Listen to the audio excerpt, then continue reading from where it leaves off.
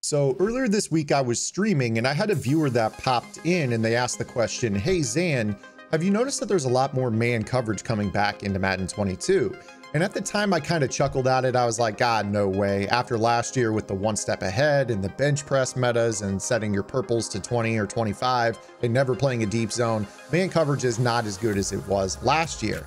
And I kind of blew off the question, but still answered it politely. But what was funny was later on in the stream, I faced nothing but man coverage. It was just straight two man under. And honestly, I didn't have any problem beating it because I do believe it's not that difficult to beat.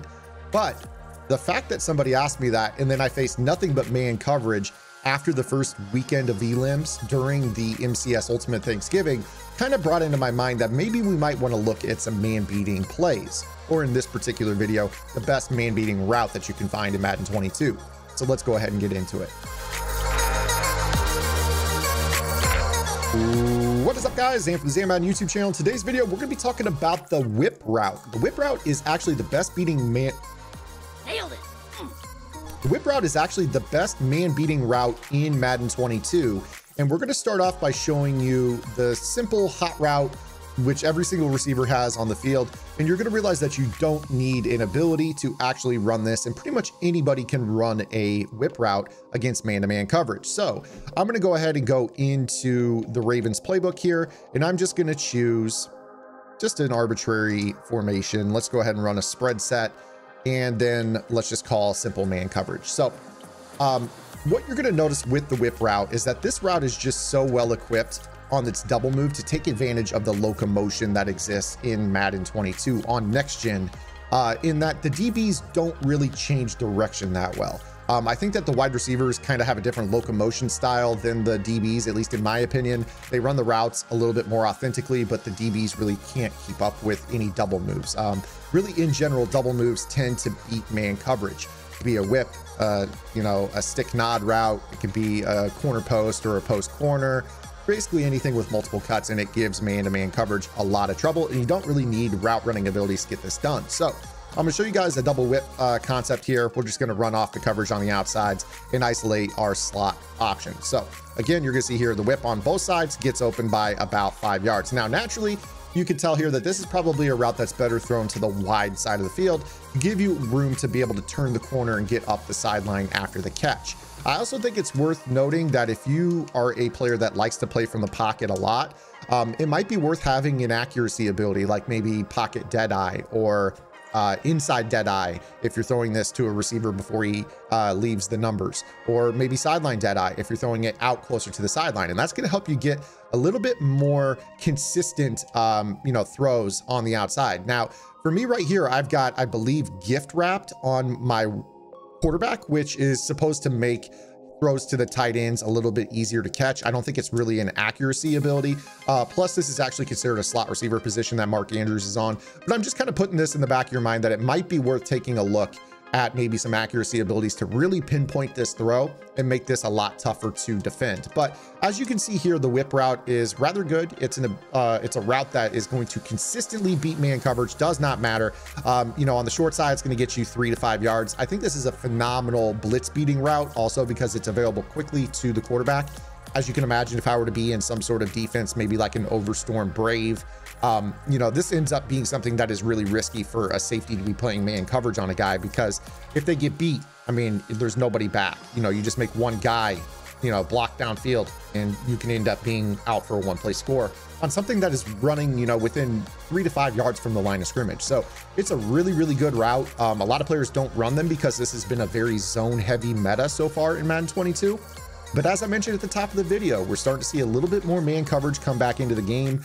Um, I've seen, in fact, uh, a, a, triple one step ahead lineup once. Um, it was not good. Um, that person was stuck in Madden 21, but uh, you know, this is still something that we're seeing players go to. They can't rely on zones. A lot of players just think that drop zone is terrible, so they're going to man coverage. Now, before we get into taking the whip to the next level, I do want to talk to you about the fact that I think that match coverage is really the way to go. I talk about match coverage all the time. I'm sure you guys are sick of it, but honestly, if you guys are struggling to get stops in coverage, zone is not the answer and neither is straight man.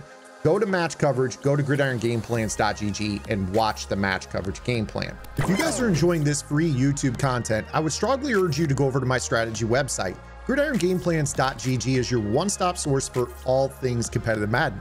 Every week in our Vault update, we take a look at the meta, or the most effective tactics available being used by pro players on the MCS circuit, breaking down not only how and why the pros do what they do, but most importantly, how you can counter those metas when you face them in online gameplay. On top of that, your subscription also includes any and every offensive and defensive game plan released on the website while your subscription is active, and access to our Discord server, where every single Wednesday we have a live lab session covering the week's vault content and any questions you guys have about Madden. So make sure you guys head over to gridirongameplans.gg. $9.95 per month unlocks the entire website. We're going to go ahead and talk about the whip route and making it a little bit more overpowered. So what we're going to do now is we're going to go into the Baltimore Ravens playbook uh, and we're going to go into the gun spread Y flex. Now, this is a formation that is really, really good.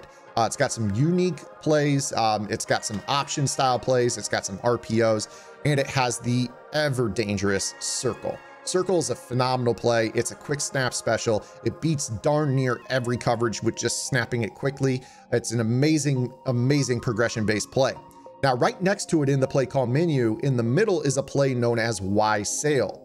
Now, this Y sail play has a whip route stock, and you're going to want to look throughout the game and see if you can find some of these. But some of these plays that have stock whip routes allow you to smart route a whip. So let's go ahead and take that onto the field and show you exactly why we would want to do that. So let's show you first with this play, I'm going to hot route Duvernay onto a whip and I'm going to try to smart route it. So I'm going to hit Y, Y, right bumper, and it doesn't register. It won't let it register whatsoever. Now let's go ahead and take this and reset the play. So now you see the play again. This is a different looking whip. If you were to compare Duvernay to, I'm going to hot route Andrews, clearly these look like different routes. The route that Devin Duvernay is on can be smart routed. And you see that when you smart route it, it will then run its cut over the middle at the 10 yard mark. Now, I'm gonna move the ball so that way that route has room to work on the wide side of the field. This is really, really good because now a route that you can consistently rely on against a man coverage to basically torch that assignment is going to do so at about a depth of 12 to 15 yards. So now you see here, he runs the post, then the whip to the back to the outside. And look how open he is against that coverage. Very, very easy throw that you guys can make to the outside to pick up 15 yards against man-to-man. And the cool thing about this is that most players, if they play man-to-man -man and they want to put a zone on the sideline, they're going to do so at maybe 25 or 30 yards. They're certainly do, not doing it at 15 yards. They're not doing it at 10 yards. So this is a route that's going to beat man-to-man -man coverage and get open perfectly in an area where they're not going to drop a zone. And then you're going to be able to rack it up the field. And, uh, you know, if you have a ball carrier move or if you got any stick work at all, you should be able to make that guy miss on the sideline with a spin move or a juke or something like that. But again, you can just consistently throw that ball out to the sideline, provided you don't get shed by uh, the AI in practice mode here. Uh, but you can consistently throw this ball to the outside and be able to uh, pick up, you know, a ton of yardage. This route is truthfully one of the most dangerous man beating routes in the game. And now we're going to go ahead and show you the best formation to run this smart routed whip out of. Whoopah! okay, so now we are back on the other side of the ball. We've flipped the teams and I've got the New England Patriots on offense. And with this particular play, we are going to show you guys the best whip route to smart route in all of Madden 22 and this is going to come to you specifically out of the Y off trips Pats formation in the Patriots playbook. And the play that we're going to be looking at is known as tight end whip.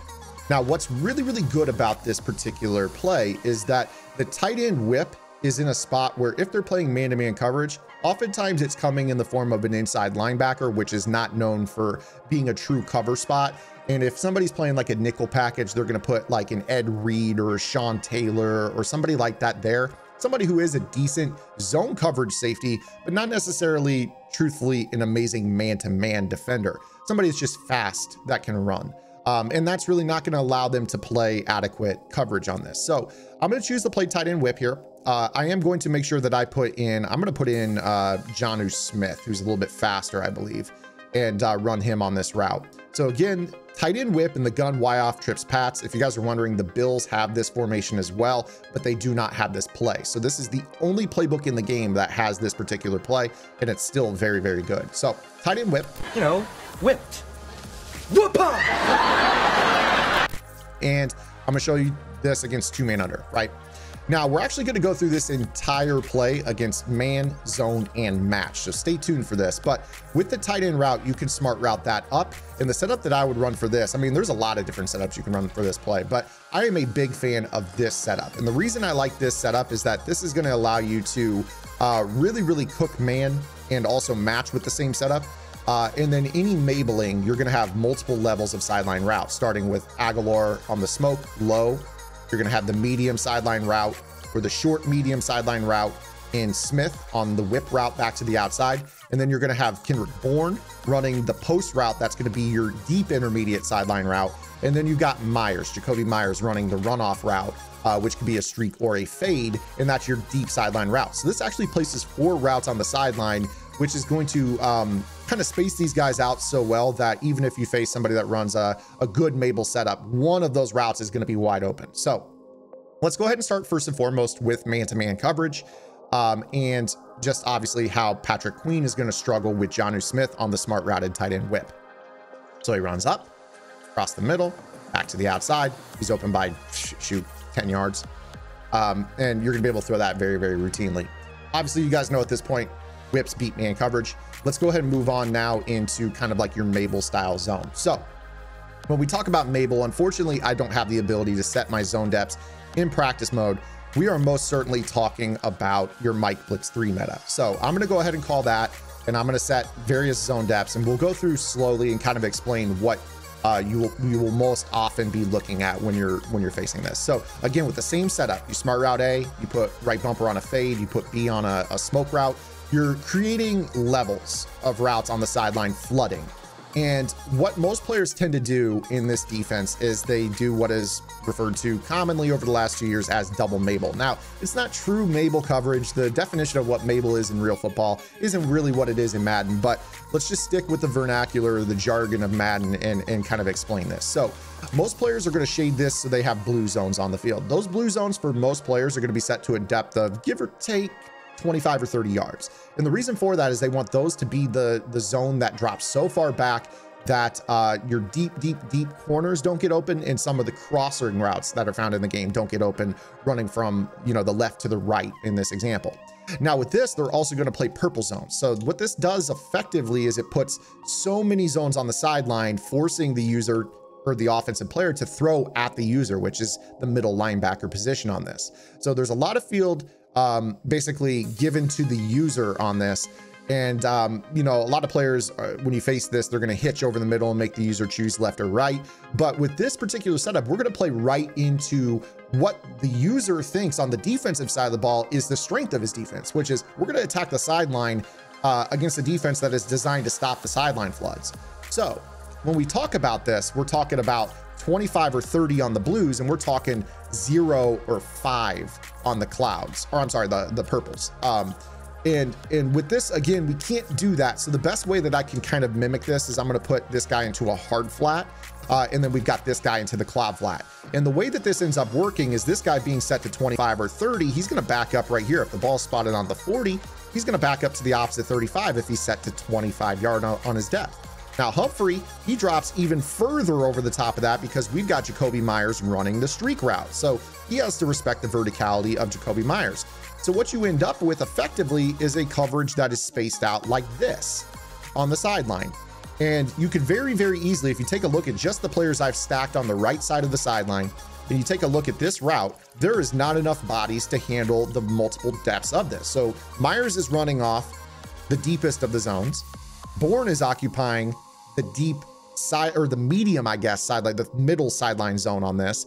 And then Smith is running another deep sideline route that is far enough underneath of that zone that you're going to have a throw there. So then you're able to isolate a high low on Agholor or the whip route. So let's go ahead and respot the ball here and we'll go through this again to the best of my ability, explaining to you how this is going to work. So start off with um, obviously we kind of understand here. I'm going to mimic him being in a zero by putting him in man coverage on the smoke. Uh, and then again, we're just going to kind of put the cloud flout out there, uh, you know, on the, the right side. And then we're going to run this exact same route combo. So smart route A, fade right bumper, smoke B. Uh, you can block the running back if you wish. But again, when we run this play, you're going to be looking at this and you're going to say, oh, dang, you know, I can go ahead and throw, you know, the high or the low between A and X. If that sideline intermediate zone plays on the whip route, we throw the crosser behind it or the, the post behind it. So, you know, we're basically playing high-low between Jonnu, who we could actually throw a low ball right here, by the way. We could just throw the low ball right here and in possession catch it.